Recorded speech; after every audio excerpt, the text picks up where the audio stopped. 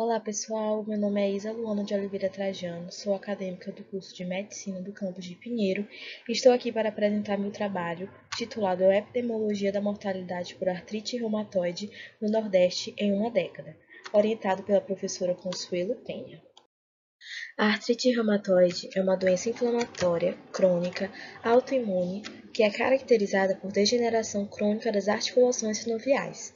Quando não tratada, ela causa destruição articular progressiva, perda cartilaginosa e óssea, deficiência nutricional e complicações sistêmicas.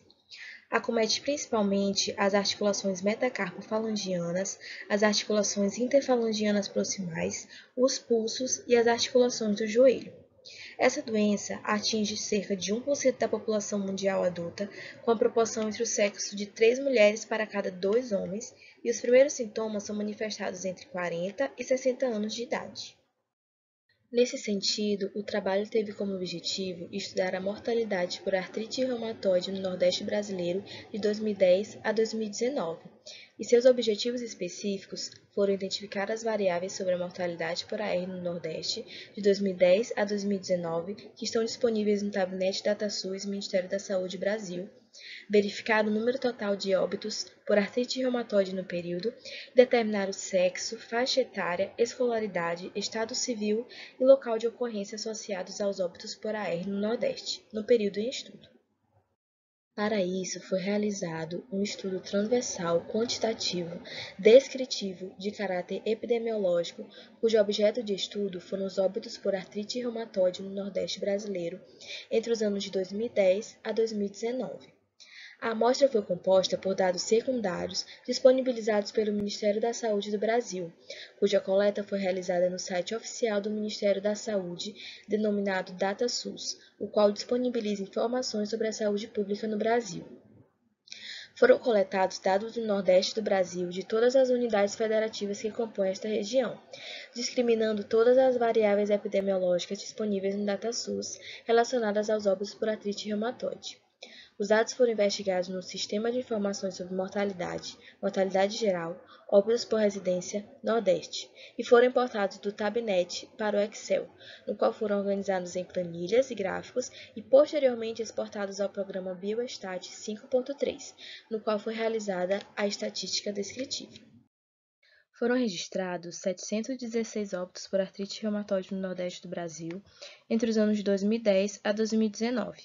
A maior parte dos óbitos ocorreu no ano de 2018, com um total de 79, que corresponde a 11% dos óbitos totais, e no ano de 2013 foi registrada a menor quantidade de óbitos, 63. A média de óbitos no período foi de 71,6. Neste gráfico, podemos ver que, relativo à distribuição por unidade da federação, a Bahia foi o estado que registrou o maior número de óbitos, com média de 18,2 óbitos por ano. O Ceará foi o segundo com maior registro de óbitos, com média de 4 por ano.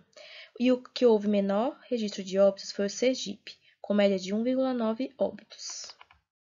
Em relação à faixa etária, a maior parte dos óbitos ocorreu entre 80 anos e mais, seguido da faixa etária de 70 a 79 anos e 60 a 69 anos.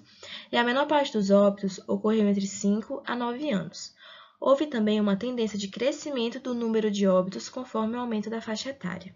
E em relação ao sexo, a maior parte dos óbitos ocorreu em mulheres.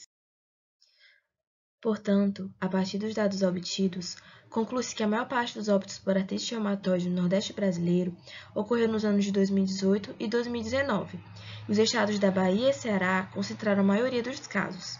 Nesses dois estados, houve tendência ao aumento do número de óbitos, sobretudo a partir dos anos de 2014.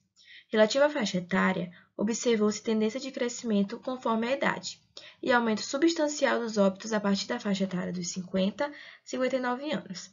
A faixa etária em que ocorreu o menor número de casos foi de 80 anos ou mais, seguido de 70 a 79 anos. E as faixas etárias em que houve o menor número de casos foi de 5 a 9 anos e de 10 a 14 anos. Em relação ao sexo, a maior parte dos óbitos ocorreu em mulheres e, relativo à raça, a maioria dos casos ocorreu em indivíduos pardos. Quanto ao estado civil, a maior parte dos indivíduos era casada e, quanto à escolaridade, a maioria tinha de 1 a 3 anos de escolaridade. Portanto, o desafio de orientar a ação de saúde, sobretudo as populações mais vulneráveis, é imprescindível para a redução dos óbitos por artrite reumatoide no Nordeste brasileiro.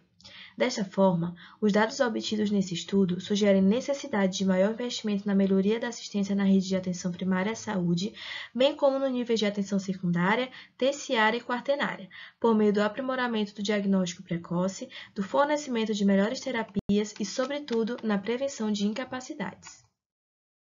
Muito obrigada pela atenção. Estas foram as referências que nós utilizamos.